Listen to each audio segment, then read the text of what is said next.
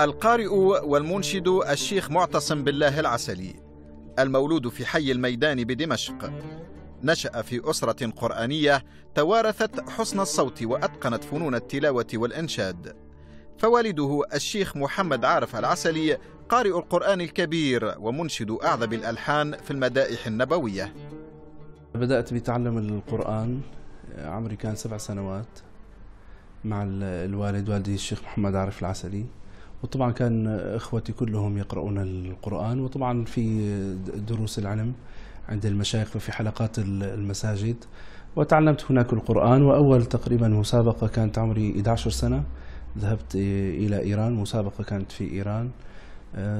يعني أحرزت فيها المراكز المراكز الأولى الحمد لله. وطبعا أنشدت حتى هناك أنشدت وكتبوا في الجرايد كان وقتها الطفل المعجزة ويبكي الحاضرين. أنا كنت تقريبا أصغر يعني متسابق في في ذلك الحين. وحتى ذهبوا بي وقتها إلى الرئيس الذي كان رئيس إيران وقرأت أمامه أيضا. ومن ثم ذهبت إلى لبنان في مسابقات أخرى والحمد لله كان كلها في يعني أكون في المراكز الأولى بفضل الله تعالى. واستمريت طبعا مع الوالد في قراءة المحافل داخل سوريا ودمشق حصرا وفي المحافل الرسمية على شاشات التلفزة السورية. ومن ثم بدأ المشوار يكبر ويكبر والحمد لله كان في قبول يعني عند الناس. والإنسان طبعا هذه الموهبة من الله سبحانه وتعالى إما أن يسخرها في طاعة الله أو يسخرها في في معصية الله. وشكر النعمة أن تؤدي يعني هذه النعمة بما يرضي الله سبحانه وتعالى. والحمد لله أن الله وفقني لأكون يعني قارئ للقرآن ومنشد يعني يكون داعية للناس بصوت جميل وأداء حسن الحمد لله. طبعا في ربما في بلاد أخرى كمصر مثلا يتخصصون الغالبية العظمى يتخصص القارئ في القرآن فقط لا يكون منشدا. لكن في البيئة السورية عندنا مختلفة قليلا في هذه الناحية. الأغلب يعني بشكل عام يكون القارئ منشد أو منشد قارئ يعني بنسبة معينة لأنه عندنا الحفل الحفلات يعني تكون بدايتها القرآن الكريم. بأي محفل سيكون قرآن كريم ومن ثم الإنشاد. ناهيك عن أن يكون هناك حفل خاص قرآني كامل. يتلون القرآن وخاصة عندنا حتى في في الشام في طابع للتعازي. عندنا يكون في المآتم في قراءة قرآن أيضا تتفرغ في فقط ثلاثة أيام لقراءة القرآن. فهذا الذي يعني ربما بشكل عام وبشكل خاص الأسرة أن الوالد كان يقرأ القرآن في التلفاز السوري وهو من المقرئين الأوائل وكان له فرقة أيضا فرقة إنشادية. فيعني جمع بينهما والحمد لله لم يؤثر يعني احدهما على الآخر. فكان القرآن له الوالد كان يسمى المنشاوي الدمشقي شيوخ القراء رحمه الله الشيخ حسين خطاب. كان شيخ قراء بلاد الشام اسمه المنشاوي الدمشقي لما له من خامة تشبه الشيخ المنشاوي رحمه الله. وبالإضافة إلى الإنشاد فكان إنشاده أيضا يعني يمتدح فيه ويثنون عليه المشايخ لما يكون له من كلام طيب وأثر طيب على الناس. بشكل عام نكون يعني منصفين وصريحين. ربما القراء القدامى من مصر كان لهم السبق يعني بإطفاء ولو لمسة معينة على جميع المختلف القراءات في في العالم العربي. لكن في الشام ربما يعني لم يتميز الكثير من القراء ربما عدم إظهار الكثير على الشاشات. في مصر عندهم ما شاء الله الإعلام يعني بشكل كبير. كان موجود إضافة للاهتمام في في هذا المجال مجال قراءة القرآن كقراءة المحافل عندنا اشتهرت بلاد الشام في تقريء القراءات والحفظ وال يعني اهتمت المدارس عن شيوخ القراء يعني يضرب بهم المثل في في العالم الإسلامي بتخصصهم في هذا المجال، فكان عندنا المجال التحفيظي والتقريء وتعليم التجويد أشد ولا يعني الاهتمام الأكبر من موضوع قراءة المحافل. يعني كانت هي عندنا قراءة المحافل هي أمر شخصي. يعني أنت تنمي الموهبة ما ليس عندنا مؤسسات مخصصة لهذا المجال. وفي, وفي نفس الوقت وفي نفس الوقت طبعا يعني ليس لها كثير ربما تفاعل كالجماهير الأخرى. طبعا كما قلت لك التأثير سيكون من ربما في البداية الإنسان يستمع. بعدها يكون له طابع خاص والحمد لله كان نوعا ما لي طابع خاص يعني بشهادة كثير من القراء الكبار في مصر وفي غيرها. آه، لكن النمط السوري كما قلت لك له خاصية بموضوع المقامات يتوسع في موضوع المقامات.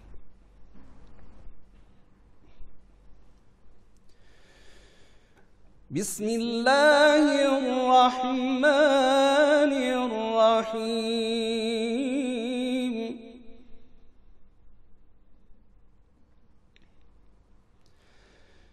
لو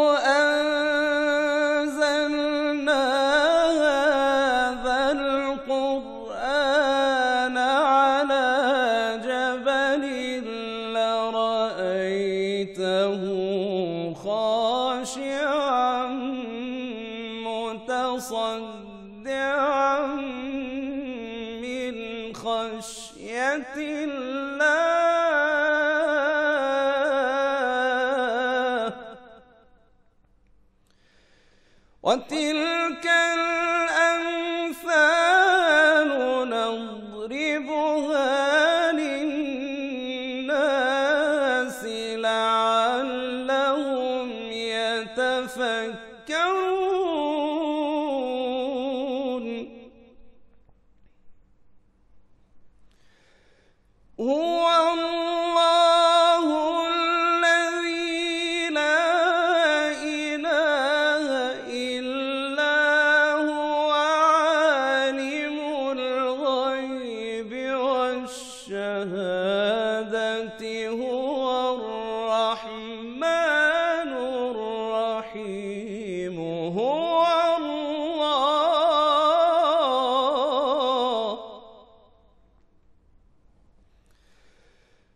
الملك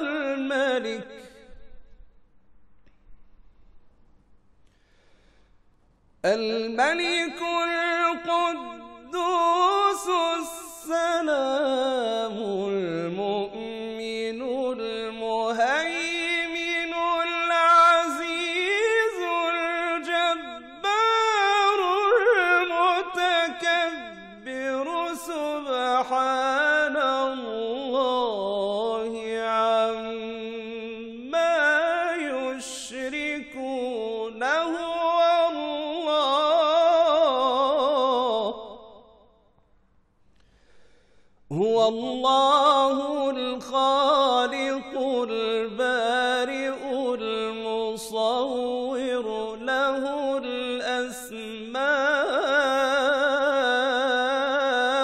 الحسنى يسبح له ما في السماوات والأرض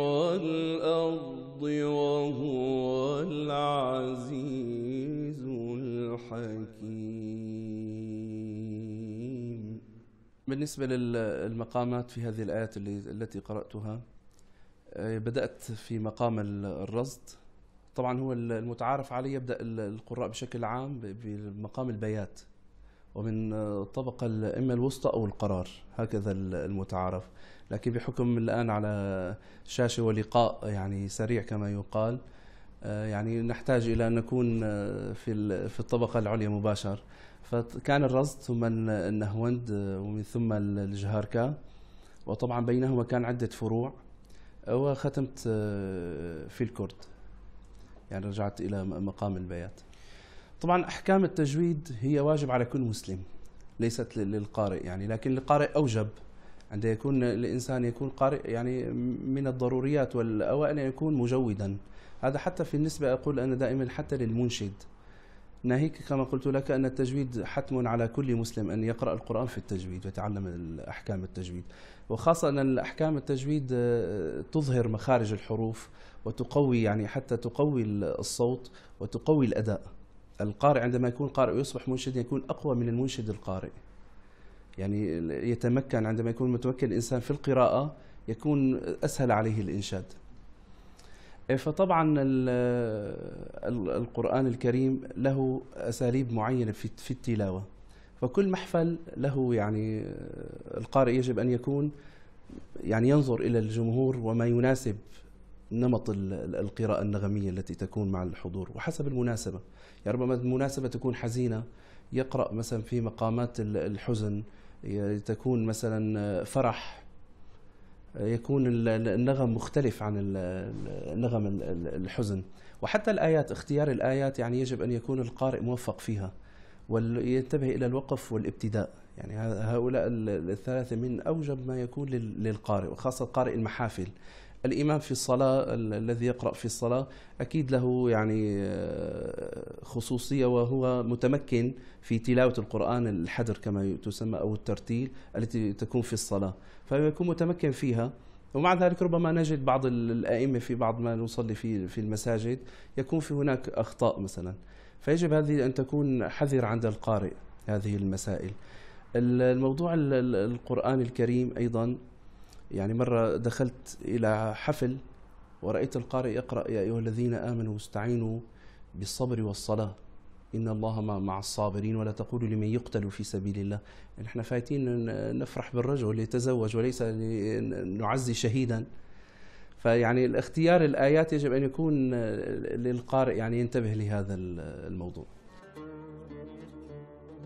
شارك الشيخ معتصم العسلي كقارئ ومنشد في عشرات المناسبات والمحافل الدولية وتسابقت الإذاعات والقنوات الفضائية لتسجيل القرآن الكريم بصوته حيث سجل القرآن الكريم كاملا لعدد من القنوات الفضائية الدينية كما يشارك كمحكم في النواحي الفنية في المسابقات القرآن الكريم ومن بينها جائزة دبي الدولية للقرآن الكريم.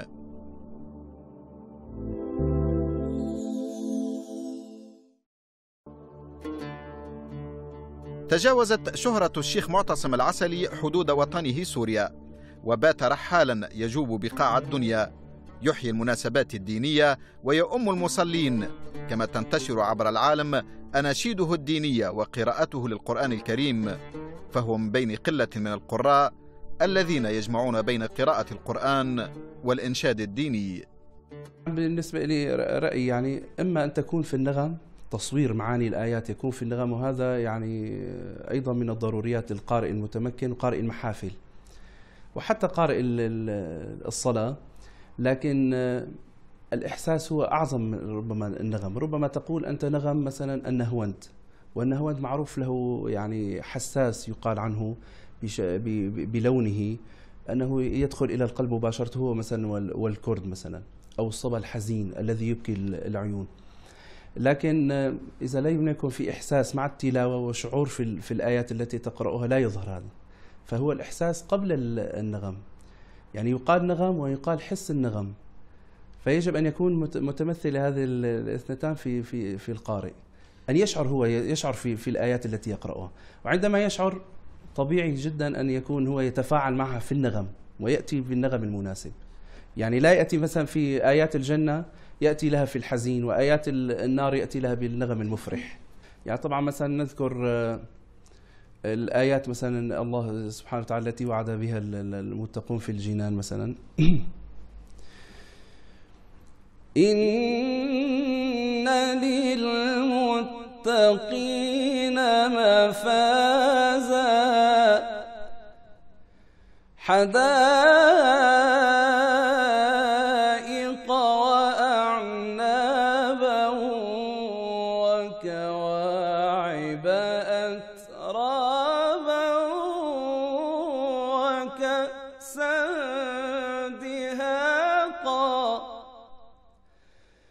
وكأسا دهاقا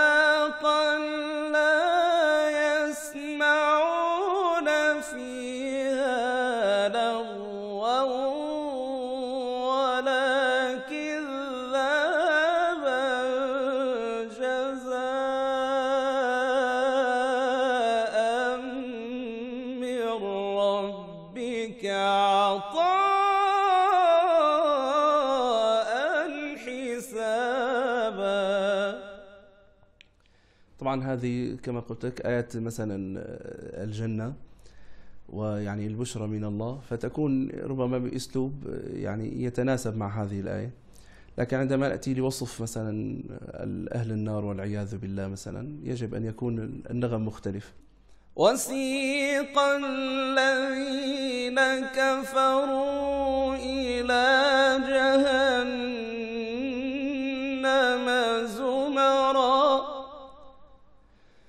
حتى إذا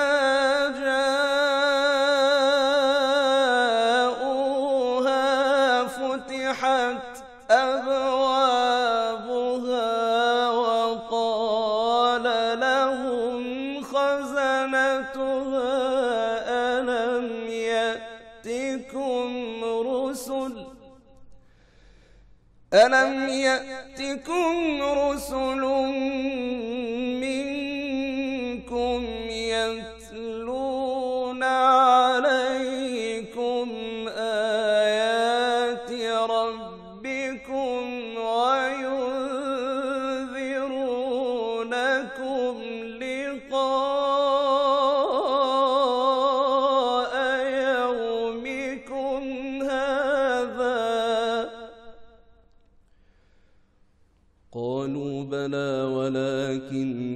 حقت كلمة العذاب على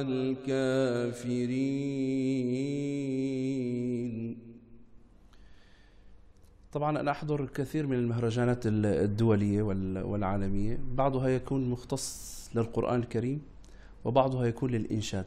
يعني أدعى كمنشد وبعضها أدعى كقارئ يعني في كثير من البلدان وأنا يعني أصلي أيام إماما في صلاة التراويح في رمضان. والحمد لله في كل رمضان أكون في دولة من الدول العربية والأجنبية حتى للجاليات المسلمة فكنت إمام تقريبا أربع سنوات في ماليزيا يعني أمام الملك وأمام رئيس الوزراء وتكون طبعا منقولة على عبر الأثير. وطبعا في لبنان وفي الأردن وفي الإمارات بجامع مسجد الشيخ زايد كان أيضا على التلفاز على الهواء مباشرة. وفي عدة دول يعني كل عام أكون في إما في دولة واحدة خلال هذا الشهر أم أم متعدد السفرات يعني خلال رمضان. وأيام أكون في نفس المهرجان أقرأ القرآن وأنشد. يعني القرآن رسالة عظيمة وهو كلام الله وهو أعظم كلام في الوجود. لا يعدله كلام. لكن أيضا الدعوة إلى الله تحتاج إلى أساليب وإلى أمور متعددة ومنها الصوت الجميل. يعني عندما يكون إنسان قارئ للقرآن تقرأ في بداية المحفل وثم تنشد ما ينفع الناس وتذكرهم بآيات الله. يعني أنت عندما تقرأ مثلا أو تنشد أبت يعلمني القرآن تذكرهم بكتاب الله. يعني يعني مثال مثلا انشوده أبت علمني القرآن لأعطر منه الأكوان وأرتله وأجوده وأروي منه ظمآنا بتلاوته روحي تسمو بتدبره عقلي ينمو ويزول به عني الغم. فأظل سعيدا فرحانا أبتي علمني القرآن لأعطر منه الأكوان وأرتله وأجوده وأروي منه ظمآنا رتله يا أبت أمامي. كن بهداه خير إمامي. لك أدعو طول الأيام. يحفظك ويجزيك جنانا. يحفظك ويجزيك جنانا. كل إنسان له جمهور معين. يعني هناك مثلا للقراء جمهور للجميع لجميع القراء. لكن بناحية خصوصية لكل إنسان يهوى قارئ معين. لكنه يعرف جميع القراء والمنشدون أيضا كذلك جمهورهم واسع. ولهم أيضا للجميع مكانة عند الجمهور. لكن كل إنسان سبحان الله له وقع للمنشد. ربما يكون صوته جميل ربما يكون ليس له صوت جميل. ربما الشهرة يعني ربما الإنسان يعني بعض الناس تتبع المشهور كما يقال لكن ليس المشهور دائما أن يكون صوته جميل. ربما يستعمل كما يقال الآن مثلا الوسائل الحديثة يعني بعض التحسينات للصوت بعض الترتيبات. حتى أنا ب- عندما بدأت في يعني أول ظهور تقريبا خارج سوريا في قناة الفجر سجلت تقريبا ختمة مصورة مجودة ومرتلة. فكان كان يقول لي صاحب القناة الشيخ وجدي كان يثنون الناس كثيرا على التلاوة حتى الشباب الذين كانوا يستمعون إلى الغناء مالوا إلى القرآن.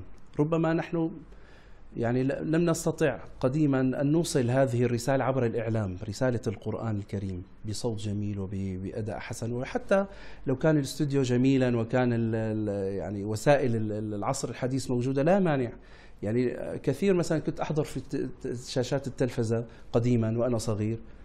يقول المخرج مثلا يجب أن إذا كان القارئ قرآن يجب أن يكون على الأرض مثلا وله طابع معين بمخيلته كما يقال عندنا مثلا الدراويش أو كذا يعني مساكين كأنه القرآن للمساكين فقط. لا القرآن اعلى أعلى شيء في الوجود. يعني هو دستور الحياة يجب أن يكون مكرم ومعظم. فيجب أن نوصل هذا القرآن بأسلوب يعني بأسلوب رائع وشيق للناس وخاصة في هذا العصر. والحمد لله الوسائل القرآن الكريم اليوم تطورت جدا. يعني مسابقات القرآن الكريم في جميع أنحاء العالم. وأنا حضرت عدة مسابقات كنت فيها محكم للأصوات والتجويد بفضل الله. فرأيت يعني الاهتمام من الدول حتى رؤساء الدول يعني اهتمام جميل جدا في القرآن الكريم. لكن عبر وسائل الإعلام يجب أن يكون لها نظرة أخرى. يعني ترتقي قليلا عن الواقع. جميل هو الآن لكن هناك أجمل لصورة القرآن وللقراء. أن نظهر القراء والقرآن الكريم بطابع يتناسب مع القرن الواحد وعشرين. هناك كثير من القراء المغمورون يعني في الوسط العالم الإسلامي أصوات رائعة وهائلة ما شاء الله وطاقات. كثير أجد أنا من القراء الشباب بحاجة لمن يعلمهم تلاوة تلاوة القرآن الكريم. أنا أتحدث عن التحفيظ وأحكام التجويد. هذه الحمد لله بشكل عام منتشرة بكل البلدان لكن كطريقة مختصة لتعليم تلاوة القرآن بصوت جميل يعني شبه مفقودة تقريبا في في العالم الإسلامي. بعض المدارس ربما تكون في ماليزيا أو في مصر فقط. لكن بشكل عام لا يكون اهتمام للصوت. وهناك أصوات جميلة. النبي صلى الله عليه وسلم يقول زينوا القرآن بأصواتكم وزينوا أصواتكم في القرآن. والنبي حث أن ليس منا من لم يتغنى بالقرآن.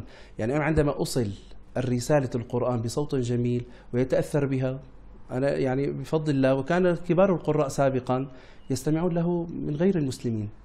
يستمعون للقرآن. ربما يقول قائل هو لا يستمع من أجل القرآن. بغض النظر. هو يستمع أنا أريد أن يستمع للقرآن بأي أسلوب بلغوا عني ولو آية ربما بآية معينة يتحول كما يقال الصلح بلمحة. آه، سيدنا عمر بن الخطاب آية من القرآن حولت آه، مساره كاملا. وهكذا يعني نحن يجب علينا إيصال هذه الرسالة أنا لي أصدقاء يعني مسيحيين بباريس مثلا في أمريكا وفي يستمعون يتابعون أي إصدار للقران الكريم يطلبون بشغف يعني أن يستمعون إلى القرآن. والله أحد يعني أصدقاء منهم يمكن وزع سيديات للقرآن أكثر من أنا وزعت. دائما ينسخ السيديات و فالصوت الجميل له أثر عند النفوس والقلوب. وخاصة في كتاب الله عندما يتجمل هذا الصوت بآيات الله وهذا الكلام الرائع يكون أكيد له نصيب في القلوب. بسم الله الرحمن الرحيم إذا السماء انفطرت وإذا الكواكب انتثرت وإذا البحار فجرت وإذا القبور بعثرت علمت نفس ما قدمت وأخرت يا أيها الإنسان ما غرك بربك الكريم الذي خلقك فسواك فعدلك الذي خلقك فسواك فعدلك في أي صورة ما شاء ركبك كلا بل تكذبون بالدين وإن عليكم لحافظين كراما كاتبين يعلمون ما تفعلون إن الأبرار لفي نعيم